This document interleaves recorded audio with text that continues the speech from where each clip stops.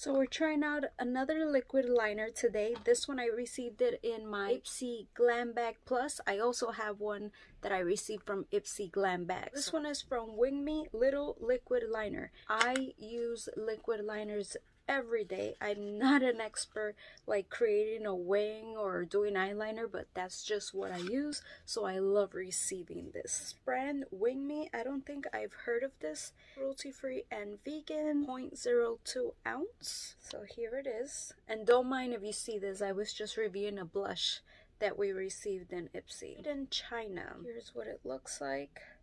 And I'm going to put this video in the playlist of all the other liquid liners that I have reviewed, just in case you love them as much as I do, so you can go ahead and watch that. I'll leave it pinned in the comments. Let me do a swatch here first.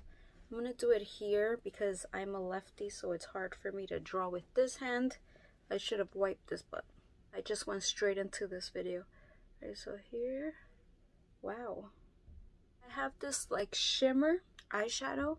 So I want to see how it draws on top of it. So here we go. Again I'm not an expert so let's see how this comes out.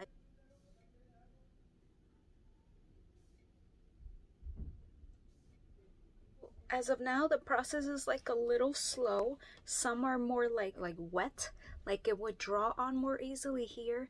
I'm having to like draw back and forth. Let's see that wasn't bad. It does look pretty pigmented. Now let's see trying to do this wing.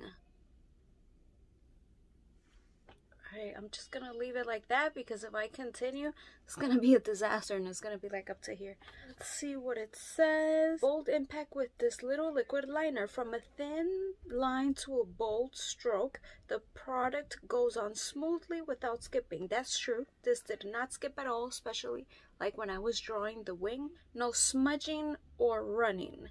This formula is infused with conditioning chamomile extract and provides a long-lasting, intense black finish that does not flake or fade throughout the day.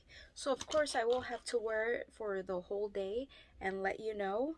I will try to like do this here. Okay, for the swatch, impressive. Nothing's coming out at all. Let me just do this here.